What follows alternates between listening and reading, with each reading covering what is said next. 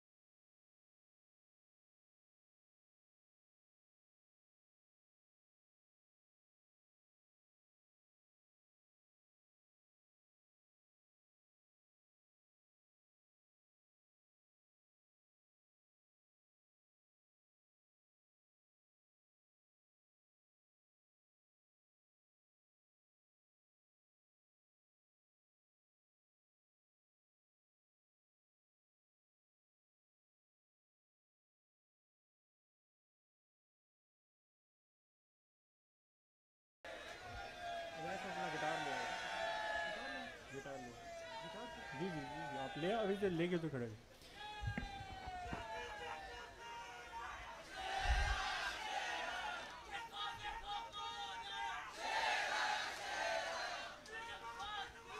Thank you very much हम बाद में मिल के नारे लगाएँगे।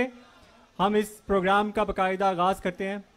मैं मोहतरमा मरीम नवाज़ शरीफ साहिबा और राना सनाउल्ला साहब की इजाज़त से प्रोग्राम का मैं आगाज़ करना चाहता हूँ। हम आज पाकिस्तान में एक नई तारीख का जो है बाब खोल रहे हैं स्टूडेंट्स के हवाले से। स्टूडेंट्स की तारीख बहुत लंबी है। 1936 में मुस्लिम स्टूडेंट फेडरेशन बनी, फिर पाकिस्तान बनने के बाद एनएसएफ बनी, यहाँ पे नेशनल नेशनल डेमोक्रेटिक फेडरेशन बनी, फिर एनएसएफ बनी। उसके बाद 86 तक यहाँ पर स्टूडेंट फेडरेशन रहीं। 86 से लेके अब तक जो है वो स्टूडेंट्स फेडरेशन बैन है। लेकिन पाकिस्तान मुस्लिम लीग नून में यंगस्टर्स और स्टूडेंट्स ने हमेशा हर इलेक्शंस में, हर रैली में, हर जलसे में अपना भरपूर करदार अदा किया है। और ये इसके लिए खराज तहसीन भी पेश मैं उन सबको करना चाहता हूँ, इन सब स्टूडेंट्स के हवाले से कि माशाल्लाह आप लोगों ने हमेशा हमारा, हमारी पार्टी का जैसा साथ दिया है लेकिन स्टूडेंट फेडरेशंस को शुरू करने के लिए या उनको चलाने के लिए एक डायनेमिक एक यंग लीडर एक यंग सोच की ज़रूरत होती है।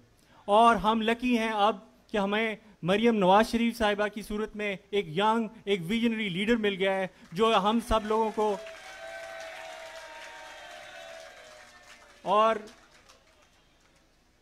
मरियम बीबी का आइडिया था कि हम सब लोगों को एक मुस्लिम लीग नून के अंदर एक प्लेटफॉर्म देना चाहिए जहाँ पे हम स्टूडेंट्स के साथ मिलकर कुछ काम कर सकें फॉर डेमोक्रेसी फॉर वोट को इज़्ज़त दो फॉर जमहूरियत।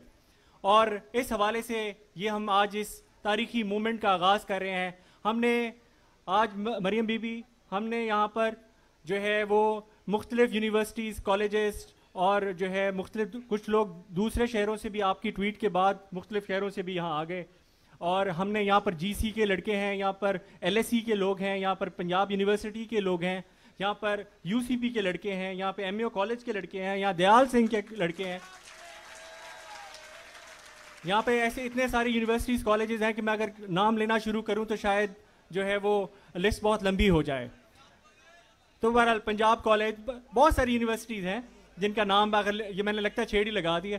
खैर एनी तो हम जो है इन ये हम इसका आगाज़ कर रहे हैं और हम इस प्लेटफॉर्म पर मुख्तलिफ़ यूनिवर्सिटीज़ कॉलेजेस के एम्बेसडर्स को अपने मुस्लिम लीग नून का प्लेटफॉर्म देंगे, जो इस वोट को इज़्ज़त दो, जो मरियम बीबी, बड़े मियाँ साहब, मियाँ नवाज़ शरीफ साहब, हमारे कायद, जो इस मूवमेंट को चला रहे हैं, हम इनके साथ मिलकर ये मूवमेंट इंशाल्लाह चलाएँगे। हम अपना इनका मैसेज लेके, इनका, जो इनका नज़रिया है, जो इनका बयानिया है, पहले ख़ुद भी समझेंगे और फिर उसके बाद इंशाल्लाह अपने अपने जो कॉलेज अपनी यूनिवर्सिटीज़ अपने जहाँ स्टूडेंट प्लेसेस हैं, हमारे फ्रेंड सर्कल्स हैं, हम वहाँ लेके जाएँगे ताकि हम एक पाकिस्तान की एक तारीखी जो है वो एक स्टूडेंट मूवमेंट खड़ी कर सकें।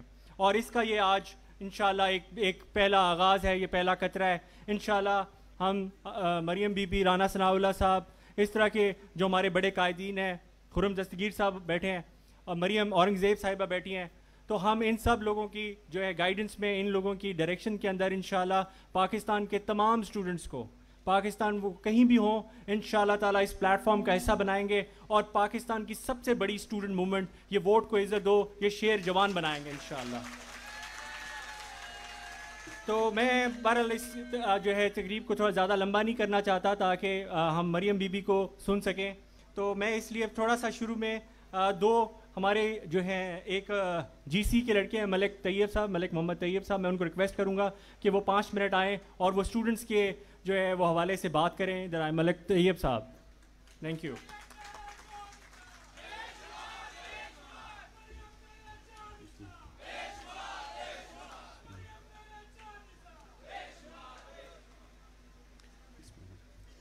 गो अपने दोस्तों के बराबर नहीं हूँ मैं, लेकिन किसी खरीफ से कमतर नहीं हूँ मैं। लर्जा है मेरे नाम की हाबत से क्या सलैस अरबाब इकतदार का नौकर नहीं हूँ मैं अरबाब इकतदार का नौकर नहीं हूँ मैं।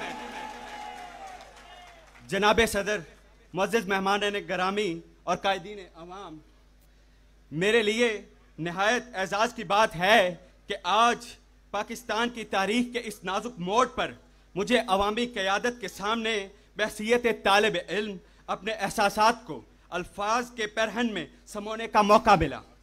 जनाबे वाला तारीख, आइन और सियासियात के तालब इल्म की हैसियत से मेरे तासरात ये हैं कि आज वतन अज़ीज़ को सबसे ज़्यादा ज़रूरत अगर किसी बात की है तो वो है सियासी इस्तेहकाम।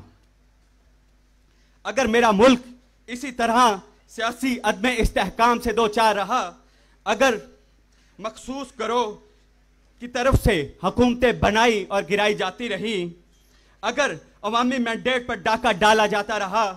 अगर चंद शातिर जहन बंद कमरों में बैठकर अवामी राय का इस्तेसाल करते रहे, अगर वोट की हुरमत को पामाल किया जाता रहा, जब तो वो दिन दूर नहीं, जब अवाम का एहसास महरूमी नाकबले बर्दाश्त हो जाएगा। और ये एहसास लावा बनकर वतन अज़ीज़ पर काबिज इस मखसूस टोले को बहा ले जाएगा। हम एक आज़ाद मुल्क में पैदा हुए हैं। हमारी माओ ने हमें आज़ाद जना है। कायद आज़म मोहम्मद अली जना ने हमें एक आज़ाद खिता ज़मीन दिया।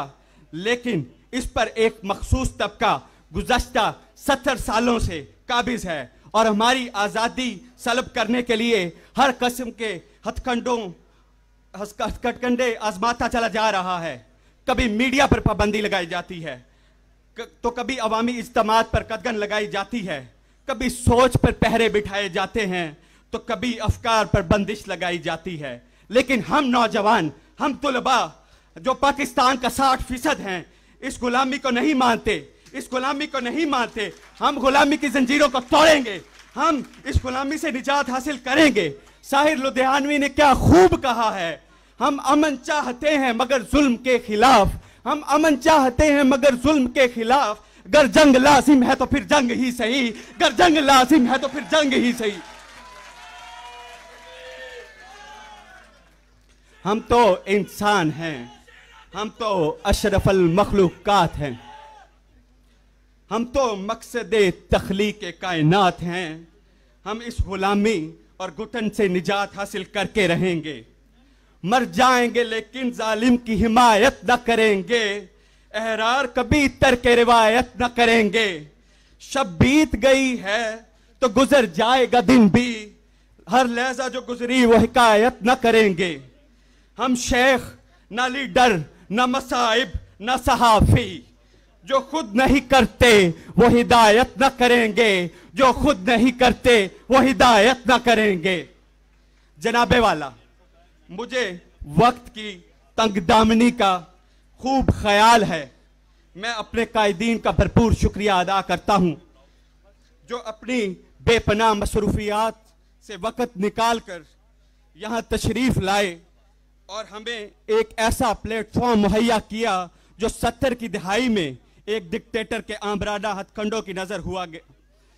तलबा सियासत का ये प्लेटफॉर्म मल्की सियासत के लिए, नहायत के कलेदी हसीियत का हामिल है। ये वो नर्सरी है जहाँ से कदावर सियासतदान पैदा होते हैं और कौमी और बैन अवी सतह पर अवाम की नुमाइंदगी का हक अदा करते हैं। मैं इस नर्सरी की आबियारी पर अपनी क्यादत का भरपूर शुक्रिया अदा करता हूँ और मैं उम्मीद करता हूँ कि इन इस गुलशन की खुशबू से सारा चमन महक उठेगा।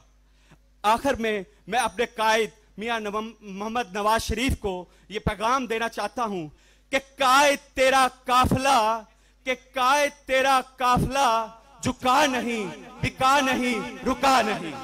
बहुत शुक्रिया।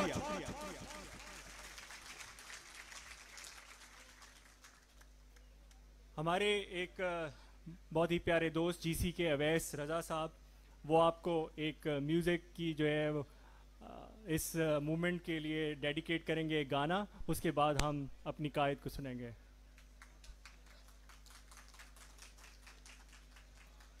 hello, hello.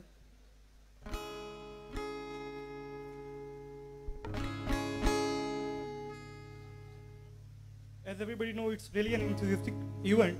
So everybody have to sing with me, yeah, along with me.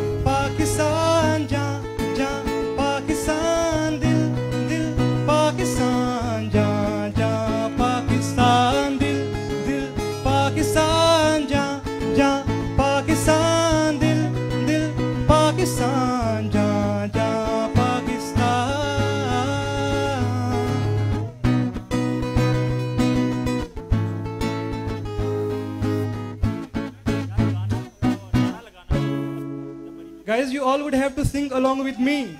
Oh, dil, dil, Pakistan,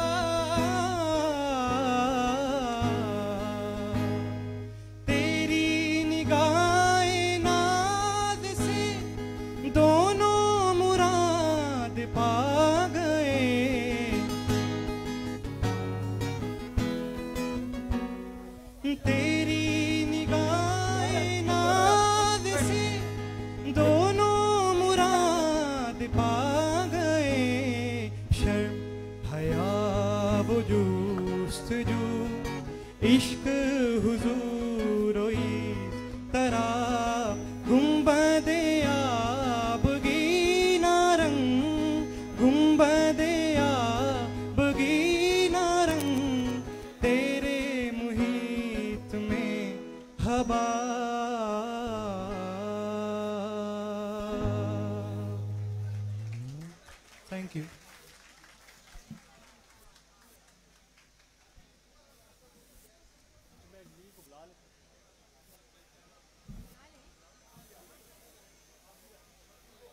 आप लोग प्लीज़ सर सेटल डाउन हो जाए। मैं इस तकरीब की रोह रवा हमारी कायद, हमारी लीडर, मेरी तो मेंटोर हैं और पाकिस्तान की जमहूरियत की शायद इस वक्त सबसे मज़बूत और ऊँची आवाज़ मरियम नवाज़ शरीफ साहिबा को मैं दावत देगा। थैंक यू ज़िंदा है तलबा, ज़िंदा है तलबा, ज़िंदा है तलबा। मेरे मुल्क के साथी, मेरे मुल्क के साथी, ज़िंदा है तलबा। तुम कुछ भी कर लो, तुम कुछ भी कर लो, गोली चलवा लो, गुंडों को बुला लो। ज़िंदा है तलबा, ज़िंदा है तलबा, ज़िंदा है तलबा। बिस्मिल्लाहिर्रहमानिर्रहीम। मेरे प्यारे नौजवानों, मेरे बच्चों, मेरे बेटों, बेटियों, पाकिस्तान के नौजवानों अस्सलाम वालेकुम मैं आपको मोहम्मद नवाज़ शरीफ साहब की तरफ़ से, मुस्लिम लीग नून की तरफ़ से और मरियम नवाज़ शरीफ की तरफ़ से दिल की गहराइयों से आपको खुश आमदेद कहती हूँ।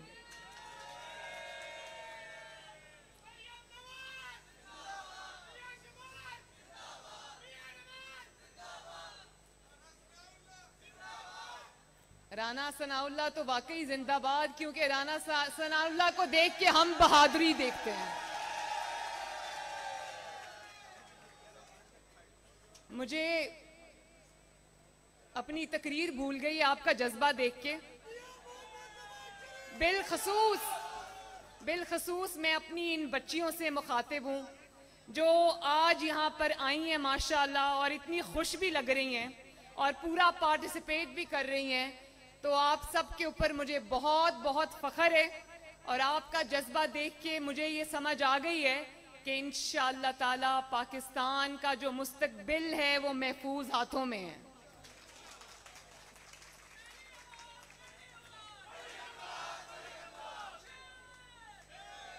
मेरे बच्चों, जो हमने लॉन्च किया मुस्लिम लीग नून का शेर जवान, मुझे ये बताने में बेहद खुशी महसूस हो रही है कि शेर जवान अभी हमने लॉन्च नहीं किया ऑफिशियली आज लॉन्च हो रहा है।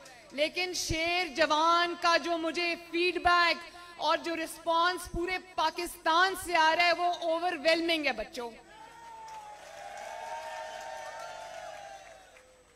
माशाल्लाह वेरी वेल डन और आज मैं इन बच्चों से तो मुखातिब हूँ जो यहाँ बैठे हुए हैं। मैं ये भी बता दूँ कि मुझे हज़ारों तलबा इसमें शरीक होना चाहते थे, लेकिन मेरे पास बड़ी मजबूरी थी, मेरे पास जगह नहीं थी। मेरे पास ये मॉडल टाउन हेडक्वार्टर्स का पीएमएलएन का सिर्फ़ ये लॉन था। और क्योंकि हमारे पे तो हमारी अपनी ज़मीन के दरवाजे इन्होंने बंद कर दिए। तो जहाँ हम जाना चाहते हैं, वो ग्राउंड के दरवाजे भी बंद हो जाते हैं, उनकी इजाज़त भी हमें नहीं मिलती। तो हमें इसी ग्राउंड में ये करना पड़ा। लेकिन ये कोई पहला लॉन्च नहीं है इनशाला मेरी पूरी कोशिश होगी कि मैं सब सूबों के अंदर जाके इस तहरीक को लॉन्च करूँ। कल मुझे केपीके के केपीके के स्टूडेंट्स का मुझे मैसेज आया। उन्होंने कहा कि आपने हमें नहीं बुलाया, उन्होंने शिकवा किया। तो मैंने उनसे ये वादा किया कि इन ताला मैं के पी के आके खुद इस मूवमेंट को लॉन्च करूँगी।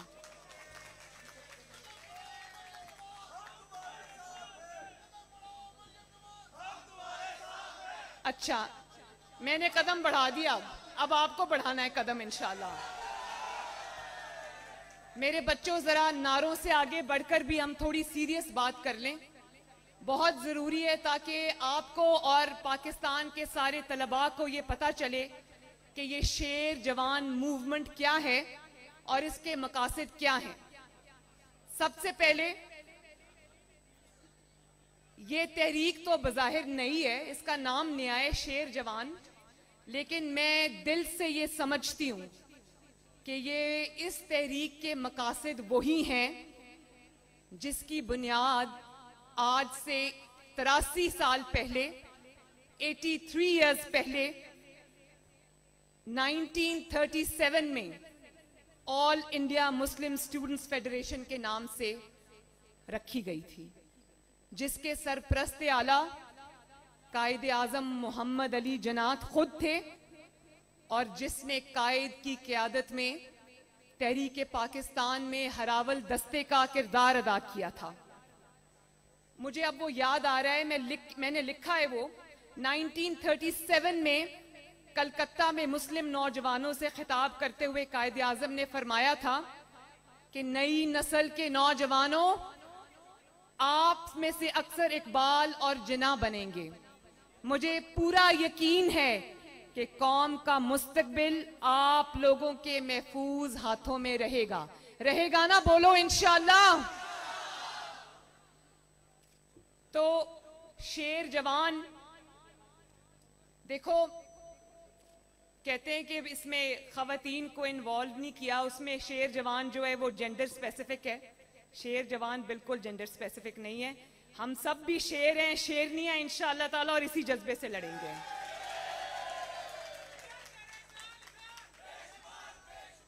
चलो नारे ठहर के लगाएँगे, पहले बात करेंगे।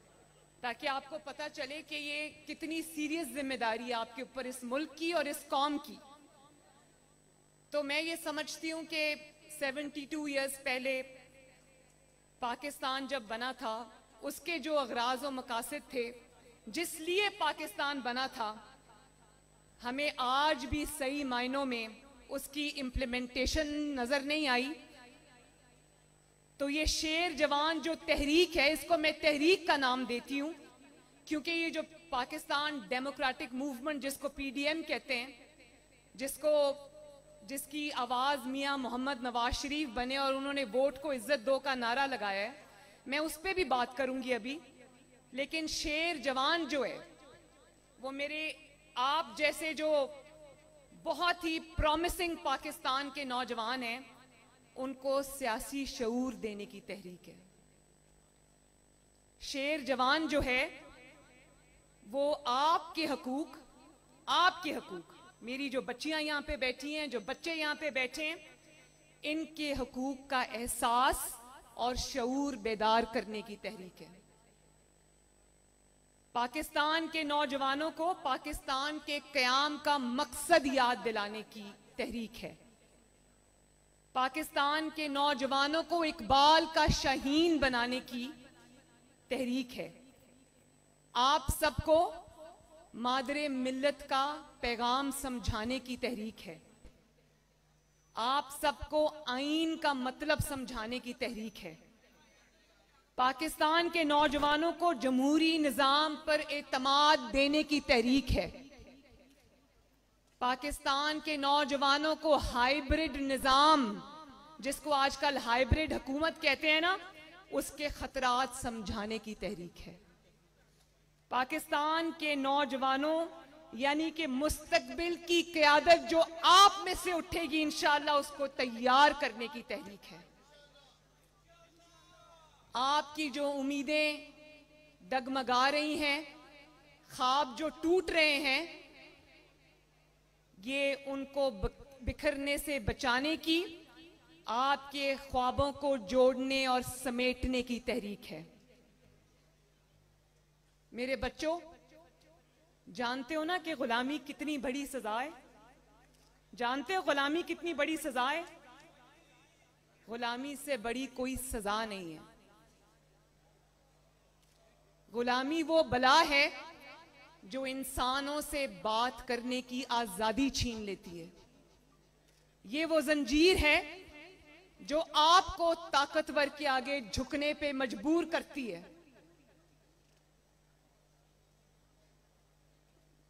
गुलामी वो बला है जो आपको सर फेंक कर आपको खौफ के अंदर मुबतला करके भेड़ बकरियों की तरह हांके जाने पर मजबूर करती है।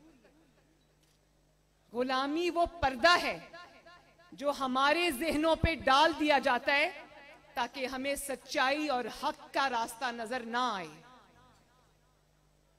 ताकि आप गलत को गलत ना कह सकें। आप अपना हक ना मांग सकें।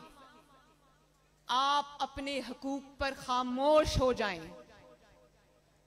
आपका हक, मेरे बच्चों, बच्चियों, आपका हक आपको भीख की तरह दिया जाए। और आपको सिर्फ़ वही दिया जाए जो ताकतवर की मर्ज़ी हो।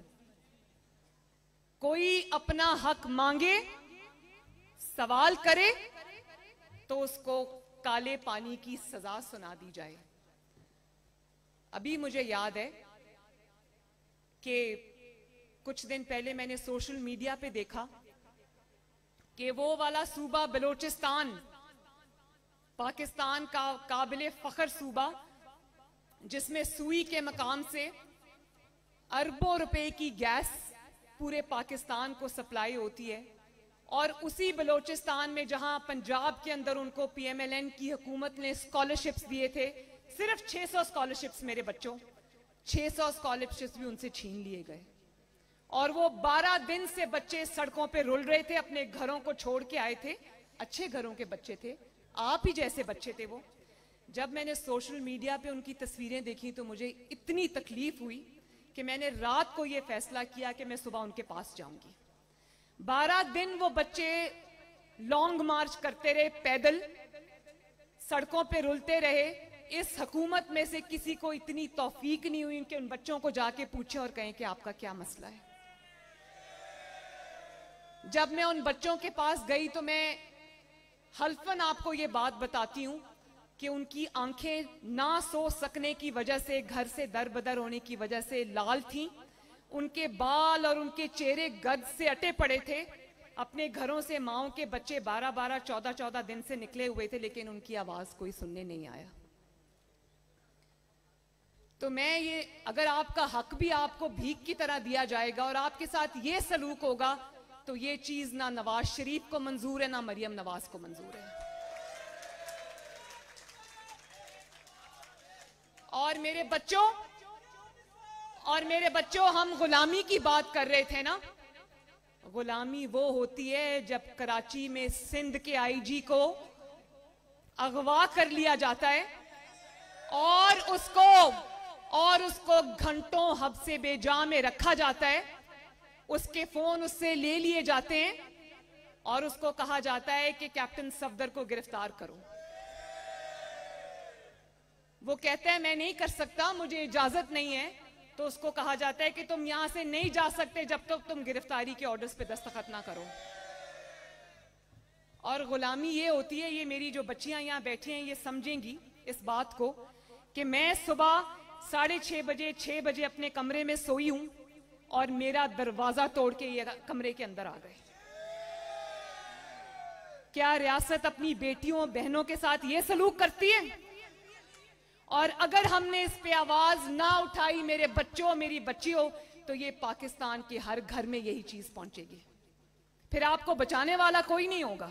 इसलिए हमें इस पे के खिलाफ आवाज़ उठानी है। मुझे बताओ कि पुलिस क्या कोई कमतर मखलूक है? आपकी वो दिन रात खिदमत करते हैं, क्या पुलिस वाले इंसान नहीं होते? क्या काली वर्दी जो सिंध की पुलिस की है, क्या वो कमतर वर्दी है मुझे बताओ? हाथ उठा के मुझे बताओ, क्या पुलिस की वर्दी कमतर वर्दी है? क्या पाकिस्तान हमने इसलिए हासिल किया था? पाकिस्तान बनाने वाले हमारे बुज़ुर्गों की सोच, माल और जान इज़्ज़त व आबरू की कुर्बानियाँ देने वाले हमारे बुज़ुर्ग, उनको जिस कुर्बानियों की शक्ल दी गई मेरे बच्चों, उसको आईने पाकिस्तान कहते हैं। मुझे ये बहुत लोग ये कहते हैं कि आप जब आइन की बात करती हैं आवाम से तो उनको समझ नहीं आती। मुझे बताओ, मेरे बच्चों, आपको आइन की बात समझ आती है या नहीं आती? आइन जो है, वो आपके हकूक की किताब है। कोई ऐसी चीज़ नहीं है जिसकी हमें समझ नहीं आती। वो आपके हकूक की किताब है। उस किताब में लिखा है कि पाकिस्तान में क्या होगा। उस किताब में लिखा है कि पाकिस्तान में क्या नहीं होगा। उस किताब में लिखा है कि किसका क्या हक है। उस किताब में लिखा है किसका हक क्या नहीं है। आइन की किताब में लिखा है कि किसने क्या काम करना है। और आइन ही की किताब में लिखा है कि किसका क्या काम नहीं है। देख लो, गौर से देखो मेरे बच्चों, मेरे नौजवानों, मेरे बेटों, मेरे बेटियों, पाकिस्तान के मेहमारों गौर से देखो। और फिर बताओ आइन की किताब पढ़ो, और फिर देखो कि नवाज़ शरीफ के मुतालबात क्या हैं। अगर आप लोग पढ़े लिखे हो, उर्दू भी पढ़ते हो, समझते हो, इंग्लिश भी पढ़ते हो, समझते हो, अगर मेरे बच्चों नवाज़ शरीफ का एक भी मुतालबा, एक भी मुतालबा आइन से मुतसादिम है तो ना नवाज़ शरीफ का साथ देना, ना मरियम नवाज़ का साथ देना। आप सबने मुताला पाकिस्तान पढ़ा होगा ना? पढ़ा है ना बचपन से? जिसको पाकिस्तान स्टडीज़ भी कहते हैं। पढ़ा है ना? उसकी रोशनी में देखो। जो भी पढ़ा है, उसी की रोशनी में देखो। और फिर बताओ कि नवाज़ शरीफ क्या कह रहा है। नवाज़ शरीफ आइन की पासदारी की बात कर रहा है। नवाज़ शरीफ हल्फ की पासदारी की बात कर रहा है। नवाज़ शरीफ अदलिया की आज़ादी की बात कर रहा है। और आज मैं अभी सुन रही थी कि मुझे किसी ने एक मैसेज फॉरवर्ड किया कि ये जो सिलेक्टेड हुक्मरान है इमरान खान, वो कहते हैं कि एक जज को ऑपोजिशन बड़ा चढ़ा रही है। किस जज की बात कर रहे हैं, जानते हो ना? और ये भी जानते हो ना कि काजी फाइज ईसा को किसने निकालने की साजिश की थी और क्यों की थी? कौन बताएगा मुझे कि क्यों की थी काजी फाइज ईसा को निकालने की साजिश? कौन बताएगा? इधर आओ बेटा, इधर आओ, मेरे बच्चे इधर आओ।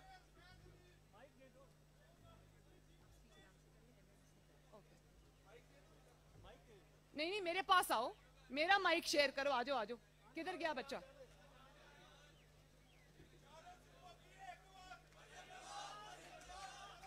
हम सब चारों सूबों की आवाज़ है। इधर आओ बेटा। अब मुझे बताओ इसमें आपका रिप्रेजेंटेटिव यहाँ खड़ा है।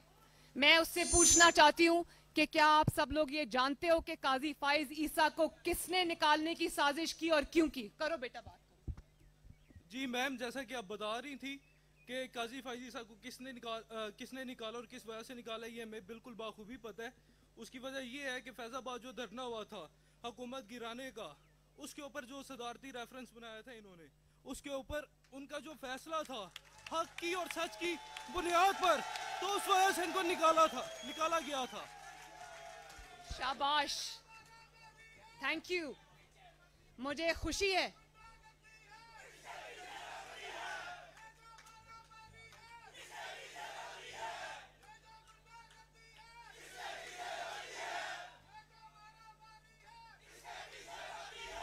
मेरे बच्चों, एक बात मैं और आपको समझा दूँ। मैं एक बात और आपको समझा दूँ कि हमने वर्दी के ऊपर इल्ज़ाम नहीं लगाना। ये वो वाली वर्दी है, मेरे मेरे फौजियों की वो वाली वर्दी है जो सियाचिन में हमारी हिफाजत करते हुए शहीद होते हैं। और जिनकी माएँ, बहनें, बेटियाँ, बच्चे जब वो वर्दी को, वो उनको दफनाने के लिए आते हैं तो वो खून में आलूद वर्दियाँ होती हैं। हमने वर्दी के ऊपर इल्ज़ाम नहीं लगाना। हमने पहचानना है कि उस वर्दी को दागदार करने वाले दो या तीन किरदार कौन से हैं। और उन किरदारों को फिर हमने वर्दी की आड़ नहीं लेने देनी।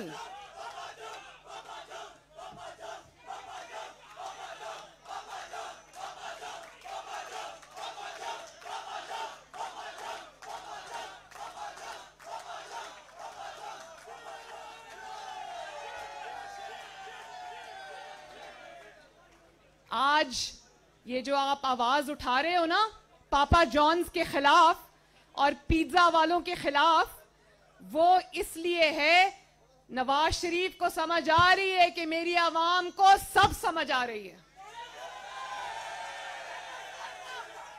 और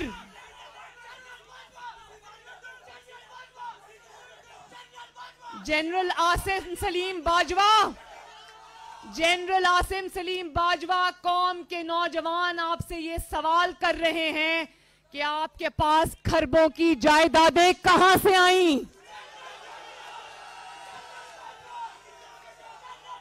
जनरल आसिम सलीम बाजवा साहब, कौम ये जानना चाहती है कि आप एक नौकरी पेशा होने के बावजूद खरबों की पाकिस्तान पूरी दुनिया में फैली हुई जायदादें कैसे बना गए? और अगर एक तीन दफ़ा का वज़ीर आज़म एक इंतकाम नमा एहतसाब के सामने पेश हो सकता है तो क्या पाकिस्तान में कोई मुकदस गाय है? अगर आपकी बहन 200 पेशियाँ कर सकती है, नैब की भुगत सकती है अपने वालिद के साथ तो फिर किसी को क्या अमर माने आसमान से यहाँ कोई नहीं उतरा, सबको जवाब देना पड़ेगा। और और और नवाज़ शरीफ यही बात कर रहा है मेरे बच्चों। नवाज़ शरीफ अदलिया की आज़ादी की बात कर रहा है। नवाज़ शरीफ मीडिया की आज़ादी की बात कर रहा है। और आप देख रहे हो ना मीडिया को, कि मीडिया को एक चीज़ फ़ीड की जाती है और उसके बाद पूरे मीडिया को मजबूर कर दिया जाता है कि वही रटा रटाया सबक आपके सामने पढ़ दे। और जो इस सबक को पढ़ने से इनकार करते हैं, उनको उठा के नैब की जेलों में डाल दिया जाता है।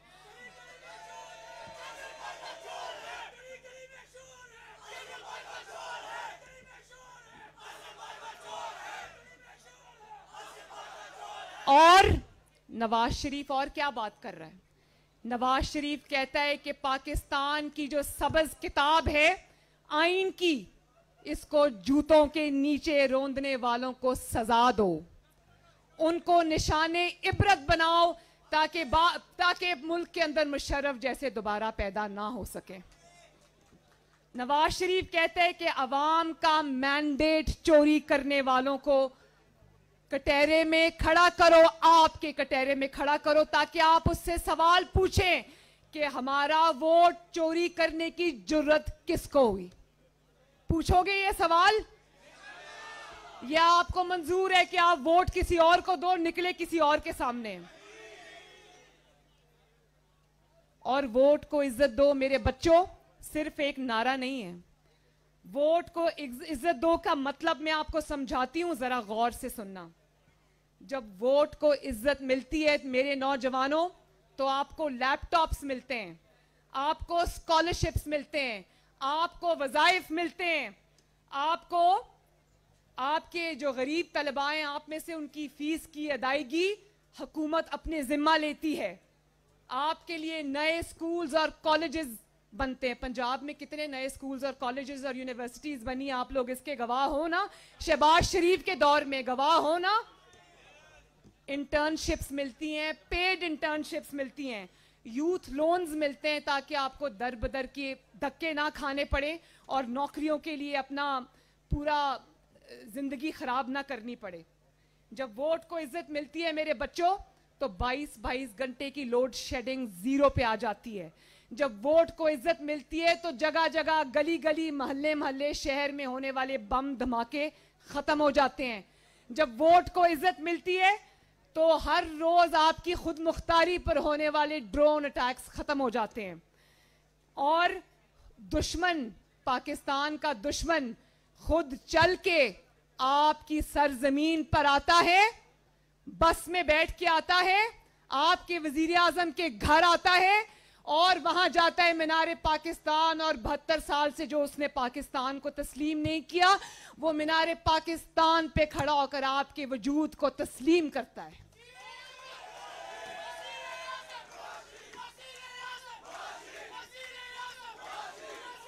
और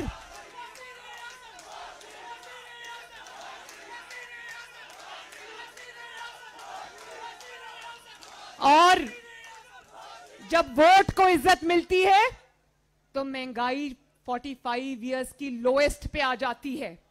जीडीपी रेट 2.7 से या 1.7 से बढ़ के 5.7 पे जाता है और 6 परसेंट उसकी ग्रोथ के चांसेस होते हैं।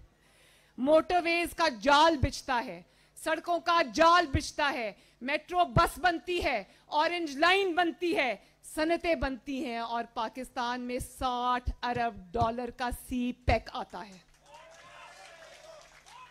और पाकिस्तान फैटिफ से ग्रे लिस्ट से निकल आता है। और जब मेरे बच्चों वोट को इज़्ज़त नहीं मिलती तो आपको लैपटॉप्स मिलने बंद हो जाते हैं।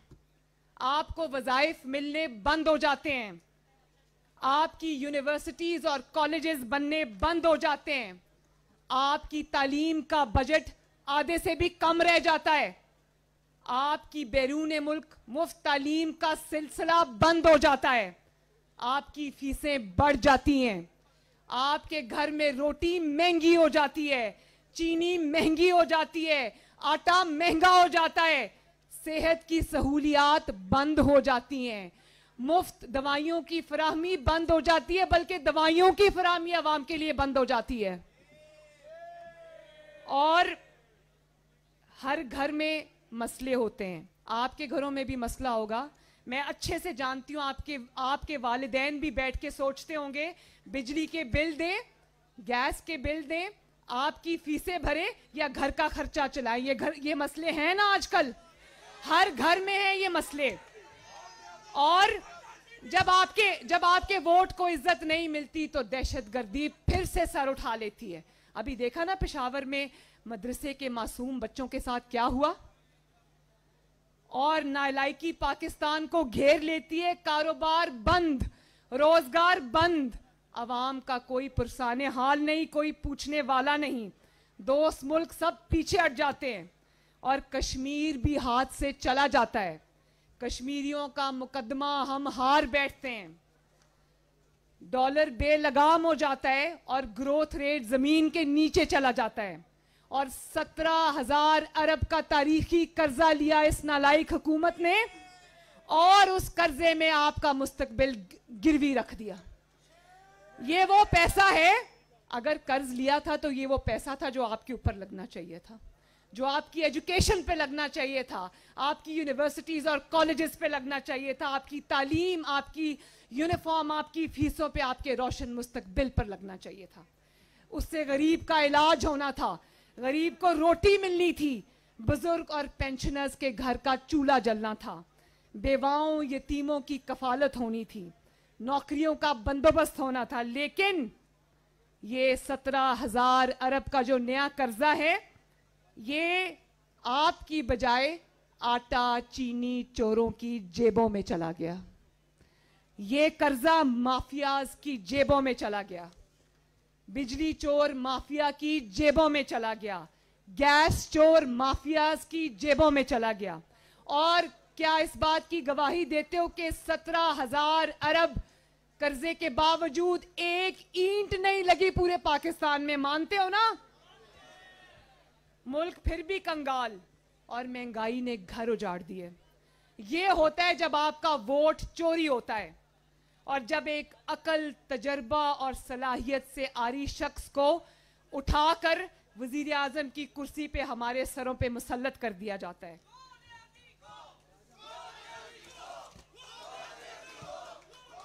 और मेरे बच्चों, याद रखना। मेरे बच्चों, याद रखना, जब आरटीएस बिठाया जाता है तो मुल्क, पूरा मुल्क बैठ जाता है।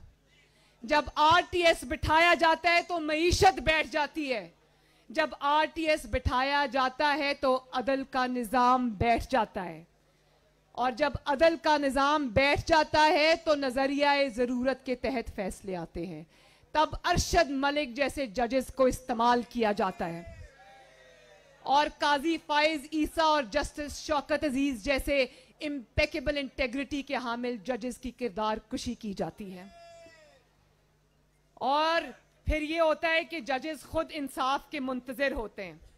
और जब आपसे जवाब मांगा जाए तो गद्दारी के फतवे बांटते हो। मेरे बच्चों अगर उर्दू लगत में, उर्दू डिक्शनरी में आइन की पासदारी करने वालों को आइन का सबक देने वालों को आइन का सबक पढ़ने वालों को आइन का सबक मानने वालों को गद्दार कहा जाता है तो फिर यहाँ पर 22 करोड़ गद्दार हैं। फिर हमें अपने मुस्तकबिल के इन मेमारों में से भी गद्दारों की ज़रूरत है। और अगर गद्दारी के इल्काबाद के पीछे की कहानी जानना चाहते हो तो मैं सिर्फ़ आपको एक मिसाल देती हूँ। एक मिसाल। अभी दो तीन दिन पहले आपने सुना ना कि अयाज सादिक साहब ने फ्लोर ऑफ़ द हाउस पे एक बयान दिया कि सिलेक्टेड हुकूमत की अभिनंदन को छोड़ते हुए टांगे काँप रही थी।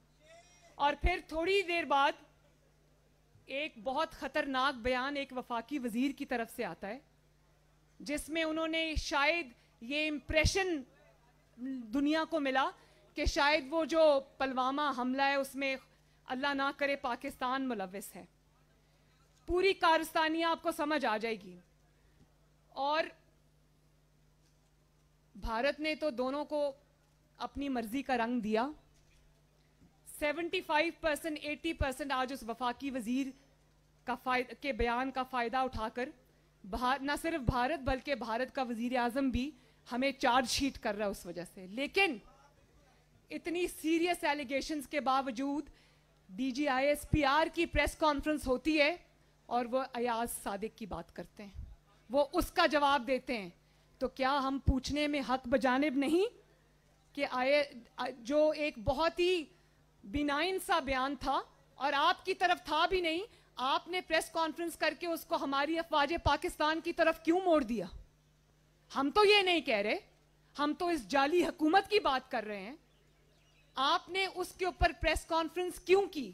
और अगर आपने उसके ऊपर प्रेस कॉन्फ्रेंस की तो आपने वफाकी वज़ीर जो हैं, उनके इल्ज़ाम पर प्रेस कॉन्फ्रेंस क्यों नहीं की? तो मैं ये दिल से समझती हूँ कि अगर इस तरह का डिस्क्रिमिनेशन अवाम के सामने आएगी तो फिर हम सवाल करने में हक बजाने बें और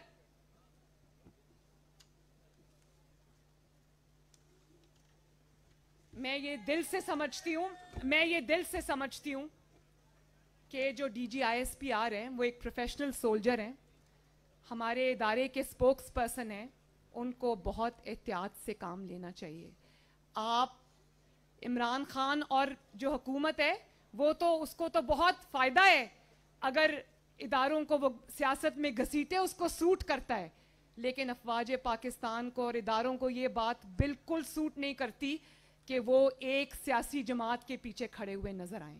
वो उतने, उनके, उतने हमारे भी हैं, उतने आपके भी हैं। तो ये डिस्क्रिमिनेशन नहीं होनी चाहिए। ये गलत बात है, ये गलत रवायत है और इससे अवाम और इदारों के दरमियान खलीज बढ़ती है। और फिर लोग कहने पे मजबूर हो जाते हैं कि जो इल्ज़ाम आप पर लगाए जा रहे हैं वो सच हैं।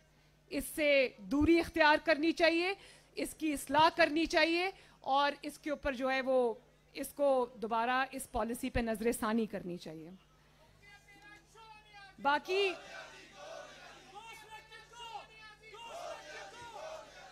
तो मेरे मेरे बच्चों, आखिर में पाकिस्तान के शेर जवानों, आपको अपनी बहन मरियम नवाज़ के साथ एक अहद करना है।